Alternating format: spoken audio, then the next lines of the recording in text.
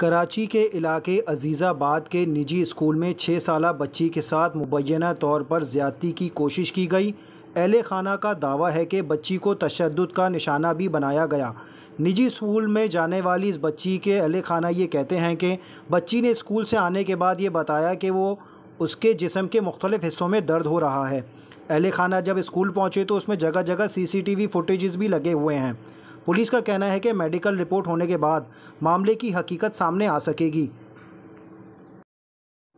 दूसरी तरफ़, स्कूल इंतज़ामिया का मौक़ है कि घर वालों का ये दावा झूठा है, क्योंकि इन लोगों ने कई अरसे से फ़ीस जमा नहीं करवाई।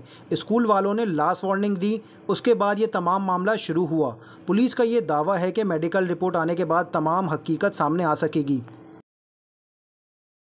छः साल की, छः साल उसकी उम्र है और कल स्कूल गई थी अच्छी खासी बच्ची और स्कूल से जब आई है तो उसकी तबीयत बहुत ख़राब हो रही थी, बहुत तेज़ बुखार हो रहा था। तो मैंने उससे पूछा कि आपको क्या हुआ है? तो उसने ये बताया कि स्कूल आइंदा मैं नहीं जाऊँगी, मुझे स्कूल नहीं जाना, मुझे डर लग रहा है, मुझे डर लग रहा है, मुझे स्कूल नहीं जाना।